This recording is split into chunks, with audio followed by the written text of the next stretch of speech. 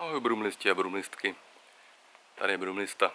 Rád bych vám poděkoval za čas a energii, kterou jste věnovali této soutěži a chtěl bych vyhlásit naše vítěze. Na třetím místě se umístil Martin Nedvěd s počtem bodů hlasů 229. Na druhém místě Indra Klaus s počtem hlasů 301. A na prvním místě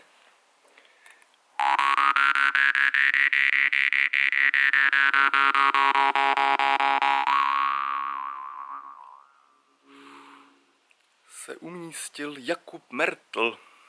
Gratuluju, Jakube. Počet hlasů 342. A co mohou soutěžící očekávat? Třetí a druhé místo budou mít možnost workshopu se mnou. Na detailech se domluvíme později. První místo, jak jsem již slíbil, dostává úžasnou brumli Siládi Blackfire ladění.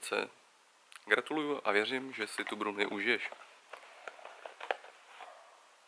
Tak, přivítejte prázdniny, uvidím se později.